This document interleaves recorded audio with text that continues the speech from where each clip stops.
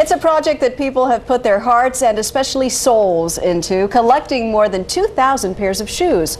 Those shoes are heading to Washington, D.C. to be part of the Hold Their Feet to the Fire anti-illegal immigration rally. Yeah, it's a controversial campaign that was started by a local radio talk show host. CBS 4's Carey Codd has more on it from Fort Lauderdale. There are thousands of pairs of shoes here, and local radio personality Joyce Kaufman will be taking them to Washington this weekend. Many of these shoes have messages on them, like daughter of legal immigrants. On this one, it's clear that this illegal immigration debate continues to strike a chord in South Florida.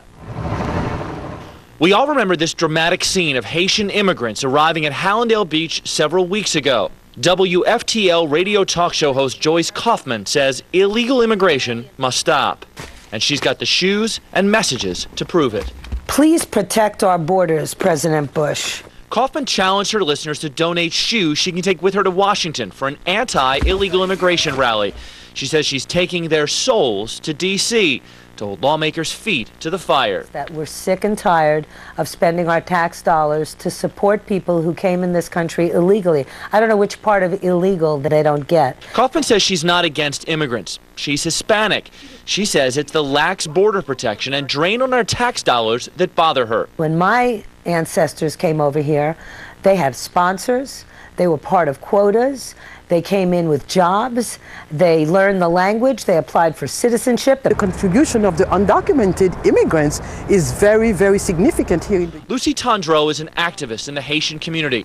She calls these folks undocumented immigrants and says they have good reasons to stay. People are coming here for fear of persecution.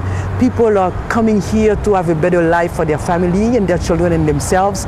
People are coming here to reach the American dream. Besides, she says, most illegal immigrants work tough jobs that help the economy. Nobody Kaufman disagrees and hopes her soulful march on Washington leaves a large footprint. Everybody's afraid of what you said. Is it xenophobia? Is it bigotry? Is it racism? Is it hatred? This is patriotism. So while the community continues to debate the merits of illegal immigration, one thing is clear. This has certainly touched the nerve here in South Florida. You can see all of these boxes that are packed up and will be headed to Washington as well. Kaufman will be performing her radio show from Washington in the beginning part of next week.